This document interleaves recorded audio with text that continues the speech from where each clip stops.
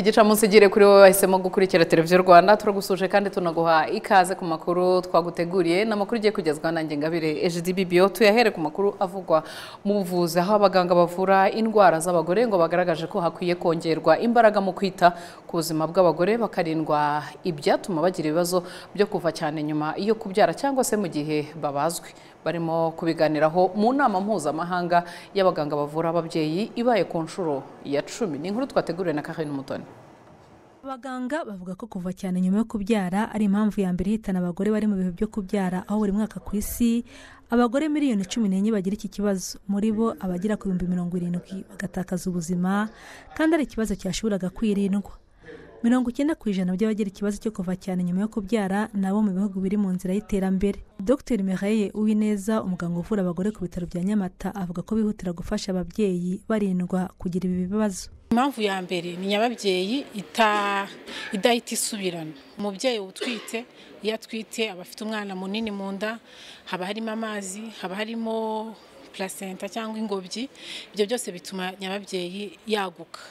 Iyo abyaye igomba gusubira gusubirana ikegerana kugira ngo udutsi tw'amaraso dufungiye kuva. Niyo mpamvu rero nk'iyo utekereza ko uwo mubyeyi ari bugire ibyo bibazo tuba dufite imiti yo gufasha contraction cyangwa kwegerana kwa nyababyeyi. Indi mpamvu ishoboka ni gukomereka. Iyo umubyeyi ari kubyara umwana ahaca ashobora guca inkondo y'umura ashobora nyababyeyi ishobora guturika ubwayo igacikamo kabiri cyangwa ikiyasa niba ariko navuga bikaba na byo byatera kuva cyane. Icya gatatu hari ingobyi itashizemo. Mu kinyarwanda tuyita iya nyuma. Iya nyuma ni ingobyi iravuka iyo umwana avutse na yo hari iminota mike ishira ikavuka. Hari igihe ivamo yose ni byo biba biri biteganijwe. Ariko hari igihe icikiramo. Cyangwa se ikananga kuvamo yose. Nabwo biba ngombwa ko hari imiti hari ubundi bufasha duha umubyeyi. Icya kane rero ari cyo cya nyuma kinaba gakeya. Ni igihe umubyeyi aba ashobora kuba afite ibibazo mu kuvura kw'amaraso ye. Hari umubyeyi bigaragara ko afite ashobora kuza guhura n'icyo kibazo. Twitegura mbere ari imiti turi bukoreshe ari umuganga uri bumufashe ubizobereyemo ari abatera ikinyabara bari hafi twitegura mbere hanyuma yaba icyo kibazo nubwo twakirinze iyo kibaye tukamufasha hakiri kare. Dr. Runyange taxis nawe uvura indwara z'abagore avuga ko ikoranabuhanga rikoreshwa muri iki gihe mu kubaga ababyeyi bafite ibibazo ari kimwe mu bibarinda kuva cyane ndetse n'izindi mpamvu zatera impfu z'ababyeyi. Aka kantu bita polipi twakwita nk'agasununu kaza muri nyababyeyi. Kaba ari gato ariko gatuma umuntu apfa cyane. Umubyeyi akava cyane amaraso akazajya ajya nko mu mihango idakira. Tubyite ku kuva ku buryo amaraso yagushiramo. Rero ugiye gukuramo akantu kadafite santimetero eshanu ntabwo ukeneye kujya gufungura inda yose cyangwa se ngo ujyemo uharure ahantu utareba. Kandi ushobora ufite kamera ushobora koherezayo ka kantu ukagakata umuntu atavuye kandi ukagakora byihuse kandi utamuteye n'igisebe ku nda. Ubwo urumva ubwo ni uburyo bworoshye. Unyuze ahantu horoshye hagaragara hasanzwe horoshye ukaba wagakuramo hari ibindi twa dupira tujya dushyiramo two kuringaniza urubyaro. Hari igihe kananirana kuvamo kugakuramo utakareba ku buryo busanzwe. Ukaba wagashaka kubera ko utahareba ntibikorohere. Iyo ukoresheje ibyo twita isitorosikopi koherezamo kamera muri iterisi uragenda ukagafata ukareba ubuzima bukaba buroroshye umuntu agataha amerewe neza kandi hatagobaye nko kuba wamwangiza kugira ngo hazemo n'izindi komplikasiyo zishoboka. Aba baganga bavura indwara z'abagore banavuga ko kwita ku buzima bw'ababyeyi ari ingenzi kuko iyo batakaje ubuzima bagasiga abana b'impinja abana batatu kuri bane baba bafite ibyago byo gupfa mu mezi abiri akurikira urupfu rw'umubyeyi wabo mu gihe batitaweho neza. Kugeza ubu mu rwanda hari abaganga b'inzobere mu kuvura abagore ijana na mirongo ine barimo abagore umunani.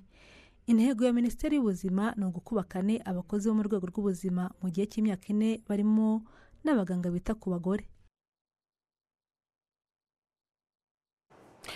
Yego reka dukomeze n'andi makuru ajyanye n'uburezi cyangwa se w'ubumenyi amerika ifatanyije n'u rwanda Ba- batangije ku mugaragaro umushinga w'ibitabo kuri twese ugamije gufasha abanditsi b'ibitabo ababigurisha ndetse n'ababigura mu rwanda kuborohereza mu gihe bikorwa ndetse no kubafasha kubibona bitabagoye. Usaid ku bufatanye na minisiteri y'uburezi mu rwanda ndetse n'ikigo cy'uburezi mu rwanda reb ndetse n'abasanzwe bakora umwuga wo kwandika ibitabo batangije umushinga w'imyaka itatu USAID ibitabo kuri twese. Uzayoborwa ukazafasha mu koroshya kubona ibitabo bidahenze cyane yaba ku masoko ndetse no ku ruhande rw'abanditsi. Igamije ni ugushigikira cyangwa se gutanga support kuri government. Uh, tukaba dufite objectives eshatu. So iya mbere ni ugufasha government cyane cyane reb through the ministry of education. Icyo dukora ni capacity building ni ukureba tukavugana na reb bakatubwira aho bakeneye mu by'ukuri ubufasha yaba muri training yaba mu bintu by'ibitabo yaba muri quality printing yaba muri distribution gushyiraho za systeme zikurikirana ibitabo aho byageze iyo batwaye ibitabo ku mashuri. Icya kabiri ni ugukorana na private sector. Private sector muri uyu mushinga iyo tuvuze private sector tuba tuvuze aba print abanditsi aba n'abacapura aba printing ibitabo n'abazidistributing abazitwara abazitanga n'abazigurisha. So icyo dukora rero buri gihe tuvuga ko ntago dufite uh, karite nziza y'ibitabo iprintinga mu Rwanda. Impamvu twaje hano mu by'ukuri ni ukugira ngo turebe se amamashini dufite ni ayahe. Mubajije hano bababwira ko hari imashini imwe gusa mu Rwanda iri hariya ikora za binding. So icyo dukora rero ni ukureba ese amamashini ahari arahagije cyangwa se andi arakenewe.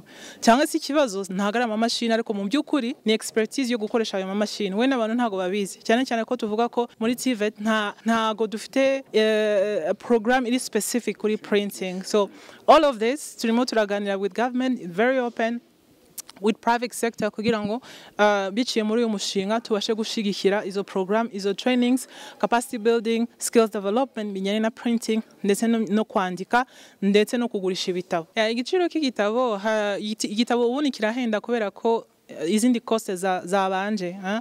harimo uh, kugura raw materials akenshi ziva hanze y'u Rwanda hari aho yego igitabo gukora igitabo nta taxes ziriho ariko wa printing igitabo printing service baguca taxes naho ambasade ya amerika mu rwanda yavuga ko iki ari igikorwa ngo cyo gufasha kubona ibikoresho byiza kandi byujuje ubuziranenge mu burezi bwo mu rwanda. Gahunda ibitabo kuri twese n'umushinga uzatwara asaga miliyoni esheshatu z'amadolari y'amerika ku nkunga izatangwa na amerika ndetse ugashyirwa mu bikorwa n'ikigo gishinzwe iterambere ry'uburezi edc mu gihe cy'imyaka itatu. Uyu mushinga uzamara. Mu majyepfo abagenda n'abatuye umujyi wa ruhango baravuga ko ngo hagikenewe kongerwa inyubako z'ubucuruzi ndetse n'amacumbi kugira ngo uyu mujyi uzarusheho kuba mwiza ndetse n'iterambere ryawo rizarusheho kwihuta bakaba basaba ko bimwe mu bikorwa byatangiye byo kuvugurura uyu mujyi na byo ngo byakwihutishwa. Christine ndacyayisenga arakomeza n'inkuru irambuye. N'abatuye muri uyu mujyi wa Ruhango umaze kumenyekana ku bijyanye n'ubukerarugendo bushingiye ku iyobokamana aha ahanini abakristo gaturika ndetse n'abandi bantu b'ingeri zitandukanye bakunze gusengera ahazwi nko kwa Yezu Nyirimpuhwe ahanabera isengesho ngaruka kwezi ryitabirwa n'abantu benshi ngo basanga muri uyu mujyi hakwiye kongerwa ibikorwa remezo bitandukanye birimo ahanini amacumbi. Nk'uko Uwizeyimana Donatira utuye muri aka karere ka Ruhango na Padiri Steven Rikuca wo muri Malawi waje gusengera aha kwa Yezu Nyirimpuhwe babigarukaho. I, I- I think as of now we have got you know, ndatekereza ko hano haza abantu batandukanye baza kuhasengera kandi bari mu ngeri zitandukanye n'ibyiciro bitandukanye. Hari abantu bo ku rwego rwo hejuru rwiyubashye byaba byiza rero hubatswe n'amacumbi atandukanye ari no mu byiciro bitandukanye bigendanye n'ubushobozi bwa buri wese. Bityo buri wese yashaka icumbi akaribona kuko nkatwe twaje hano turi mu byiciro bitandukanye mu by'ubushobozi ariko amacumbi turimo ari ku rwego rumwe nyamara twe twifuzaga ko umuntu yajya mu rijyanye n'ubushobozi bwe. Gusa ayo macumbi yose ntitwayabonye ikindi n'ibyumba bimwe biba ari bito byakwagura. Here in some other rooms I think they are too small. Twumva rero ingufu zo kuduha amashanyarazi zabaho ingufu zo kuduha amazi zikabaho ubwo rero no kuvugurura umujyi bikagendana umujyi wa ruhango ukaba ruhango ikeye nyine. Mu mwiherero wahuje abikorera bo mu karere ka ruhango ijana na makumyabiri na komite nyobozi y'aka karere hagamijwe kwiga ku iterambere ry'umujyi wa ruhango. Abikorera bagaragarijwe amahirwe ahari bakwiye kubyaza umusaruro hagamijwe kuzamura umujyi wa ruhango. Abikorera bagaragaje ko biteguye gushyira imbaraga mu mishinga minini harimo ibigamije guteza imbere ubukerarugendo no kubaka amacumbi n'amahoteli. Bagasaba ubufatanye mu kubishyira mu bikorwa. Mu karere kugira ngo twongeremo imbaraga koko iryo shoramari ryacu rigira imbaraga. Ari n'ufite n'iyo hoteli arushaho gutanga serivisi nziza. Ari ufite n'iyo resitora atanga serivisi nziza. Ibi biraduha umurongo rero mwiza wo kugira ngo twiteze imbere tunateze imbere akarere kacu. Umuyobozi w'akarere ka ruhango habarurema valence avuga ko hari byinshi bishimira bimaze kugerwaho. Ariko ngo haracyari byinshi byo gushyiramo imbaraga mu rwego rwo kuzamura igipimo cy'iterambere ry'akarere n'iry'abaturage muri rusange. Icya mbere ni ibikorwa remezo bakeneye ariko noneho na serivisi itangirwa muri ibyo bikorwa remezo. Aha ndashaka kuvuga rero icyo waba ukorera mu mujyi wa ruhango cyose abe amashuri abe banki abe hoteli abe ubucuruzi bw'iduka bugomba kuba ari bwiza kandi bukenewe na bose. Hanyuma rero n'abaza kubireba ukabakirana yombi. Mu byo bagarutseho muri uyu mwiherero w'umunsi umwe harimo ahanini kongera inyubako z'ubucuruzi kubaka iduka rikomatanyije ribonekamo ibintu byose bikenerwa abacuruzi bajyaga bajya kurangura mu mujyi wa kigali kongera ibikorwa remezo birimo amazi n'umuriro muri uyu mujyi ndetse no gushyira imbaraga mu bukerarugendo bushingiye ku iyobokamana. Christine ndacyayisenga mu karere ka ruhango. Tukivuga ku iterambere rishingiye ku bukerarugendo abaturiye pariki y'igihugu ya nyungwe babibonyemo amahirwe y'ishoramari kuko ngo abahaza mu bukerarugendo hari serivisi bakenera ari na zo bashoramo imari. Iracyadukunda ruth kavutse aradukomereza n'inkuru irambuye mukarangwa nusiyata ni umugore uboha ibyibo intango ndetse n'ubundi bukorikori butandukanye. Avuga ko yavuye iwabo mu ntara y'amajyepfo aje gushakisha ubuzima nyamasheke hafi ya nyungwe ngo byaze ayo mahirwe umusaruro. Negera nyungwe nyine kubera hari na ba mukerarugendo ibyo dukoze bigurwa vuba vuba tukabona umusaruro byihuse. Umuntu uzi gukora ufite imbaraga uzi gukora. Arazikoresha zikabyara umusaruro ufatika akagira iterambere. Nta bushomeri nta bushomeri haba imirimo yo gukora tukiteza imbere. We na bagenzi be bavuga ko baciye ukubiri n'ubukene kuko ngo ibihangano byabo bigurwa cyane bikabaha amafaranga yabahinduriye ubuzima. Bituma mbona mitiweli ku gihe bigatuma nambara igitenge cyiza nk'abandi babyeyi umuryango wanjye n'abana bato ntibabura amata ntibabura amagi mfite inkoko noroye nkuye ahangaha kuri uno mushinga w'ububoshyi mfite ingurube ibyo byose ni ibyo nkesha umurimo w'ububoshyi. Ubuzima bwanjye bwarahindutse kubera ko nta mwana wanjye wabashaga kuba yanywa ayo mata. Baryaga ibiryo bitameze neza ndetse n'amavuta yo guteka byari danje amafaranga mpembwe nkabasha kwishyuramo amashuri nkabasha no kugirayo nzigama ku ruhande nkajya mu matsinda. Ya matsinda yagabana nkabasha kugura ayo matungo nk'ingurube ingurube narayoroye igera aho irakura imaze gukura iza kumpesha inka mbona umusaruro ubashije kuva ku iyo nka hari ifumbire ndajyana nkayikoresha mu murima natishije urubyiruko rwa hano bamwe na bamwe usanga bakora muri parike ya nyungwe. Abandi barimo hano mu bya traditional dancing. Nk'uko mwabibonye hari n'uyu mu manager nawe akora hano. Hari n'undi urimo hano nabwo ukora mu gikoni. Twese turi urubyiruko ntago ntago twabura icyo gukora hano. Twegere parike ya nyungwe haboneka abakerarugendo umunsi ku munsi. Tubasha kwiteza imbere. Ku ruhande rw'abasura ibikorwa biganjemo abanyamahanga ngo babikundira umwihariko n'ubwiza bwabyo ndetse ngo iyo basubiye iwabo ibi bihangano babisigarana nk'urwibutso rw'ibihe byiza bagiriye mu rwanda. Actually, here you can see that it's natural made, it's handcrafts made. Um, people, you can meet them, you can... mu by'ukuri hano ubona ari ibihangano by'umwimerere. Ni ubugeni abantu urababona ukabakoraho si nko mu mijyi minini. uba ubizi ko iyo hari icyo uguze uba utanze umusanzu wawe ku muturage. ari byo tuba twaje gukora muri make ntibisanzwe kuri twe.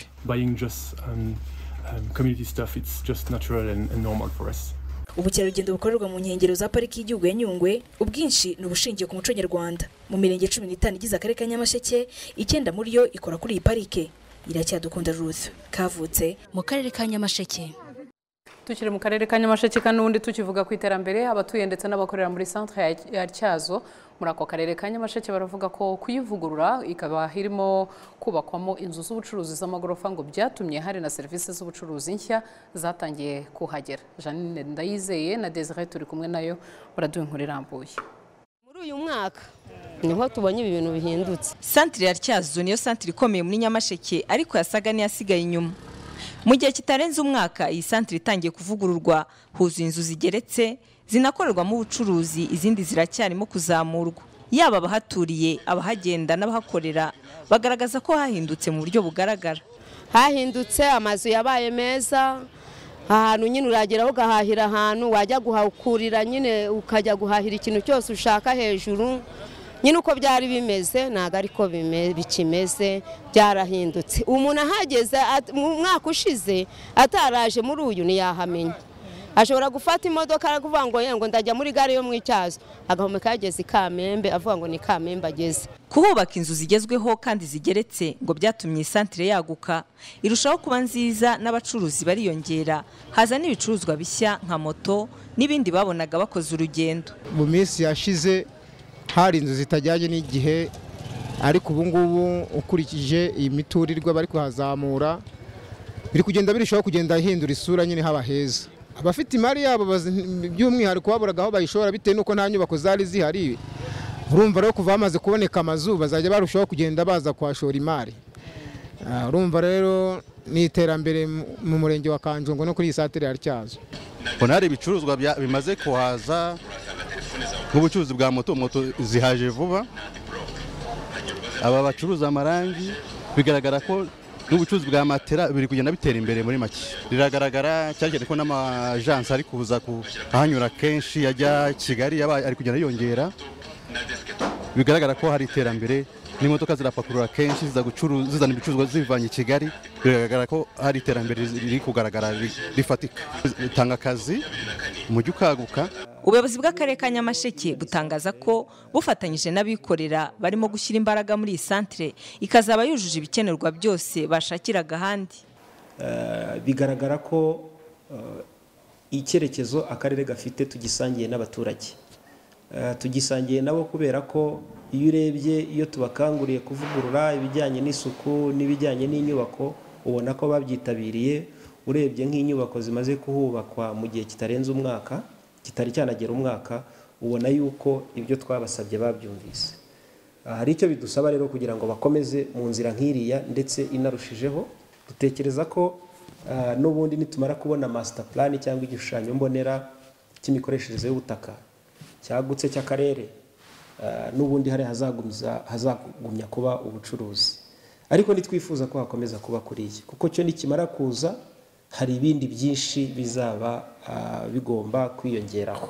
Muri aka karere hari n'izindi santire zigenda zivugururwa ndetse n'izizimurwa ziri ahantu hatameze neza kugira ngo iterambere rijyane no gukorera ahantu hameze neza.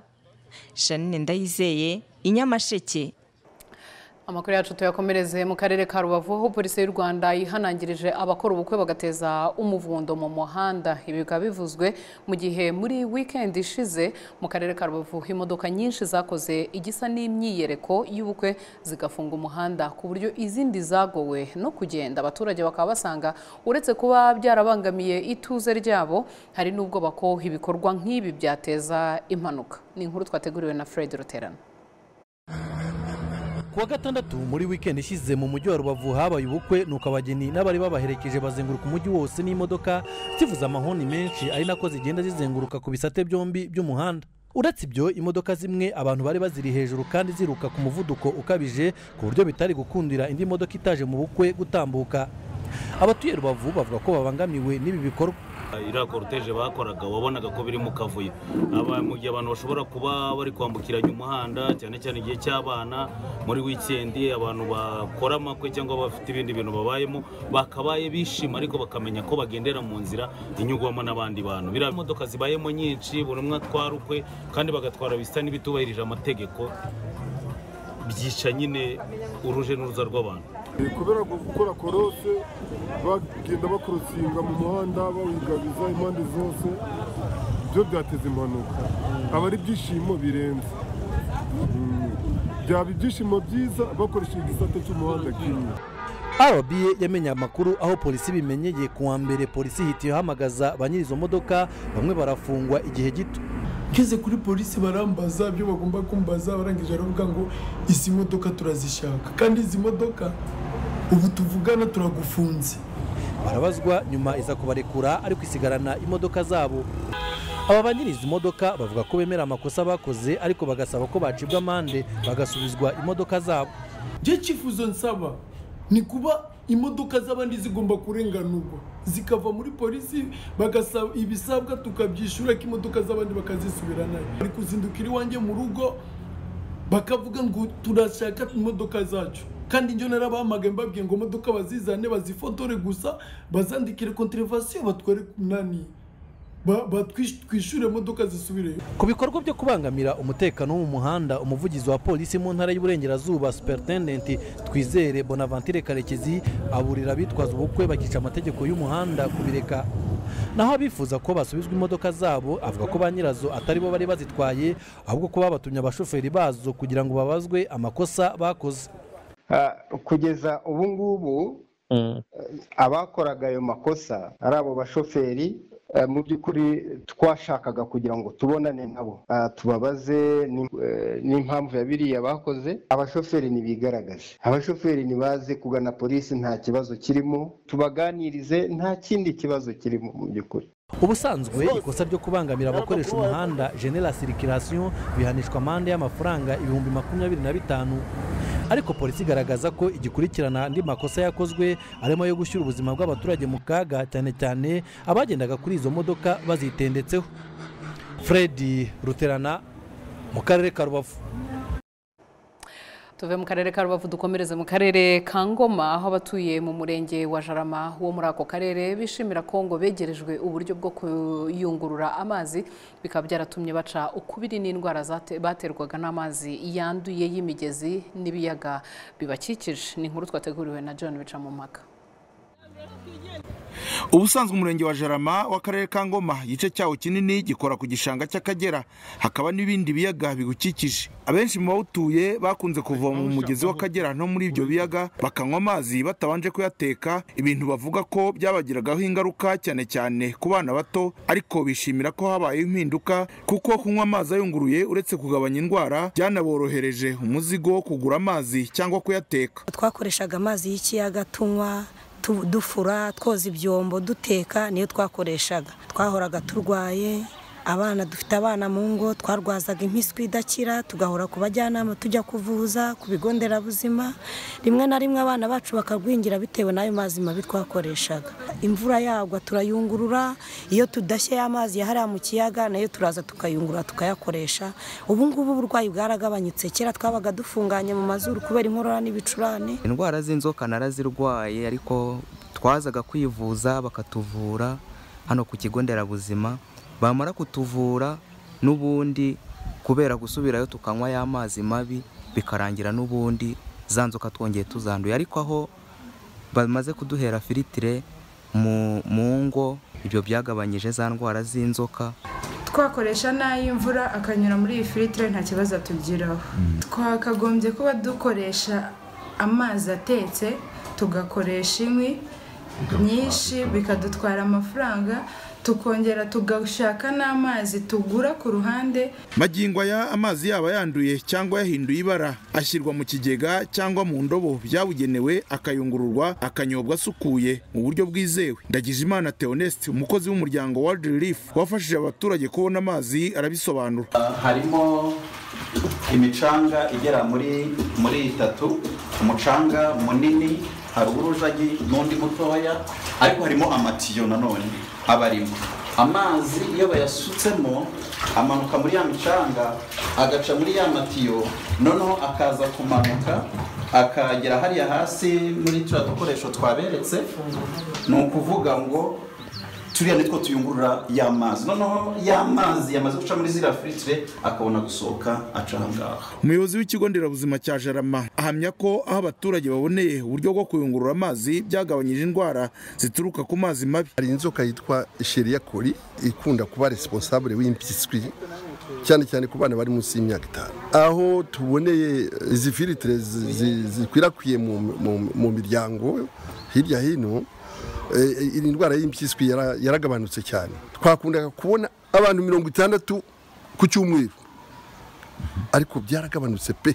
Ariko nibura tubona abantu hagati ya cumi na batanu na makumyabiri. Umuyobozi w'akarere ka ngoma avuga ko umushinga wa world relief umaze imyaka irindwi ufasha abaturage isuku n'isukura wabungabunze ubuzima bwabo. Iriya filitire eh, twavuga ngo ikoranye ikoranabuhanga wenda umuturage ashobora no kutayigurira ariko dutoza abaturage n'ubundi bikorwa byo gusukura amazi. Kandi natwe nk'ubuyobozi bw'akarere ntitwicaye kuko uyu munsi hari kuganayo n'amazi meza ku buryo kuvoma mu biyaga bizaba amateka. Ariko mu gihe gikwiriye nyine umushinga warafashije mu rwego rwo kwirinda indwara ariko ntabwo twanavuga ngo turagendera kuri ibyo gusa turekera. Hari ibikorwa byo kuhageza amazi meza. Mu mirenge ya jarama na rukumberi hatanzwe indobo ntoya ziyungurura amazi zisaga ibihumbi bitanu ingo eshatu zigasaranganya imwe. Mu bigo bihuriramo abantu benshi na za isidizi hatangwa ibigega bito bigera kuri makumyabiri kugira ngo abaturage n'abana b'incuke bajye babona amazi meza yo kunywa. John bicamumpaka televiziyo rwanda ingoma. Iyo nkuru yo mu karere ka ngoma ni na yo tugejeje ku musozi w'amakuru yacu twari turimo kubagezaho kuri iki gicamunsi. Gahunda za televiziyo rwanda zirakomeje indi gahunda ku buryo burambuye ni ku mugoroba ku isaha y'isambi. Mukomeze kunyurwa na televiziyo rwanda.